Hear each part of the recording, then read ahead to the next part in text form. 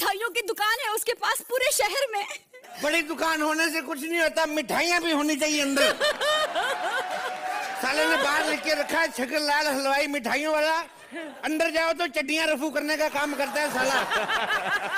ये बकवास कर रहा है ये उनका पार्ट टाइम जॉब है। वैसे इसे क्या पता क्या मिठाइयाँ बनाते हैं वो? क्या मिठाइयाँ बना रहे जलेबी तो सीधी बनती नहीं साले से। देखो। टेढ़िया मेढ़ी जलेबी बनाते रहे। क्या जलेबी बनाएगा साला